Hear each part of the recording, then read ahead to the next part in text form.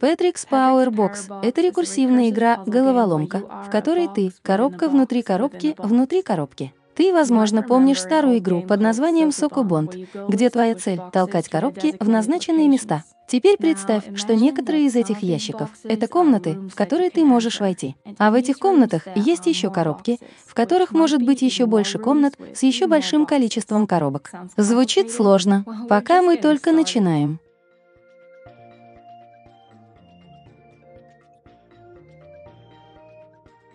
Прежде чем рассказать тебе больше об этой системе управления разумом, я чувствую, что важно упомянуть, что разобраться в этой механике чрезвычайно приятно. Так что, очевидно, я сделаю все возможное, чтобы не испортить тебе этот опыт, и буду придерживаться некоторых ранних механик. Но если ты уже подсела и предпочитаешь открывать все самостоятельно, я настоятельно рекомендую проверить демо-версию. С этим покончено. Давай немного углубимся в систему.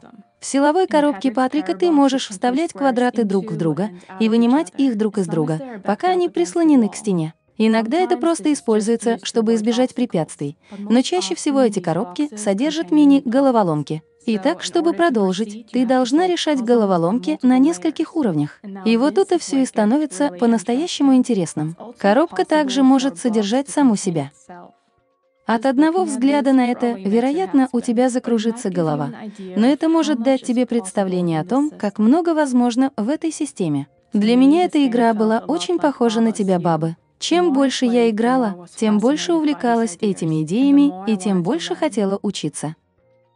Игра разделена на разные разделы, каждый из которых представляет игроку новую концепцию. Так, например, есть группа уровней, которая фокусируется на концепции ввода ящиков, и практически каждый уровень представляет игроку новый, более сложный аспект этой идеи, что означает, что ни один из более чем 350 уровней не кажется повторяющимся. Я хотела бы больше поговорить о том, насколько глубоко это заходит и насколько умопомрачительными становятся эти концепции позже. Но все, что я собираюсь сказать, это то, что каждый раз, когда я думала, что это не может быть интереснее, это так и было. И мне нравится, что разработчик Патрик Трейнер сумел представить все это таким образом, что даже люди, которые менее опытны в играх-головоломках, могут наслаждаться этим. Головоломки сложны, но никогда не доходят до такой степени, чтобы они расстраивали. И в конечном счете на этом уровне ты можешь сделать не так уж много. Так что даже если ты не сразу поймешь, что происходит, ты все равно сможешь решить эту проблему и понять, как все работает потом.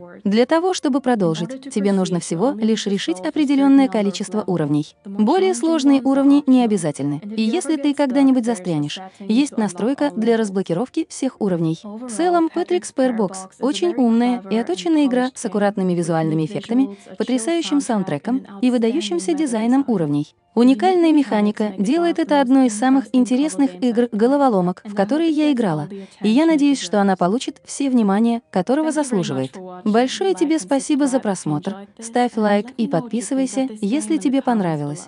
И дай мне знать, что ты думаешь об этой игре в комментариях ниже.